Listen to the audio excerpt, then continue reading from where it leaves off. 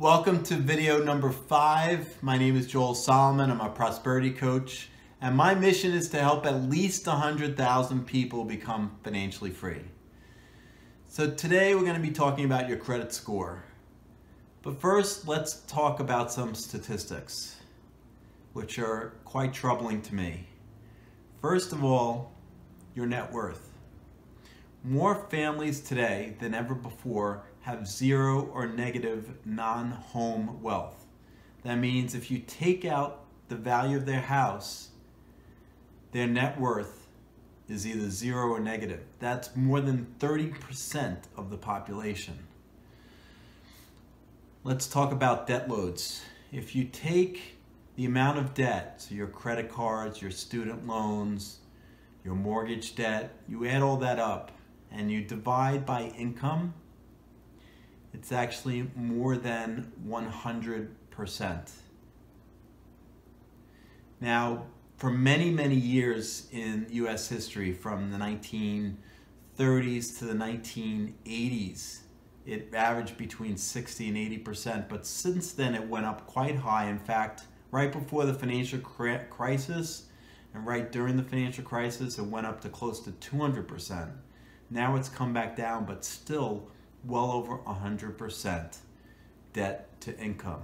Very troubling. So let's talk about your credit score.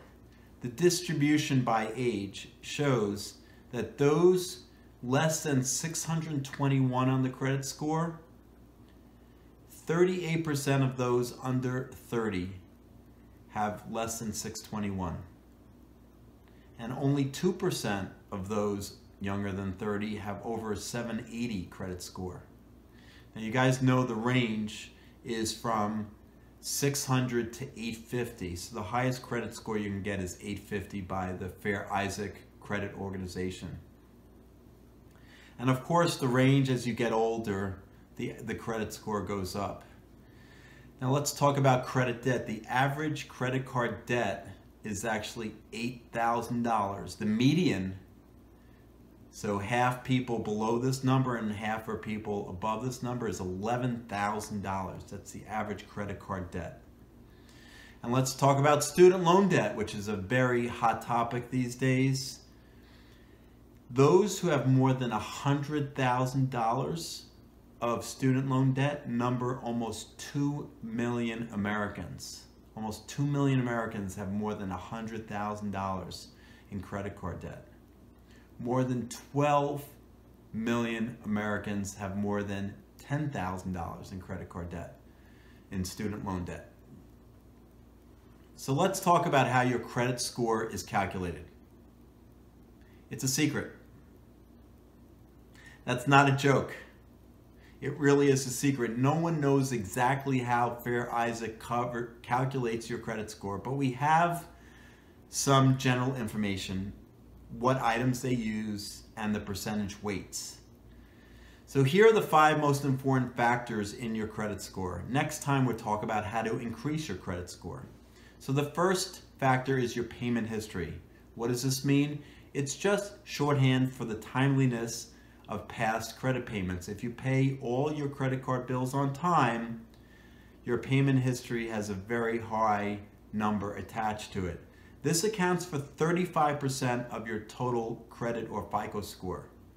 It's the largest portion of the overall score. And the more late payments you have on your credit score, the lower, of course, your credit score will be. So the goal is to pay on time as much as possible. Outstanding debt, what's this? This is the amount you already owe on credit cards, student loans, mortgage debt. The lower the amount, the better, but ratios are really important. And we'll get into that in the future. Now this outstanding debt, this factor accounts for 30%. So the first two factors, the payment history and the outstanding debt accounts for 65% of the total credit score. The third item is the length of your credit history. This represents 15% of the total of your credit score.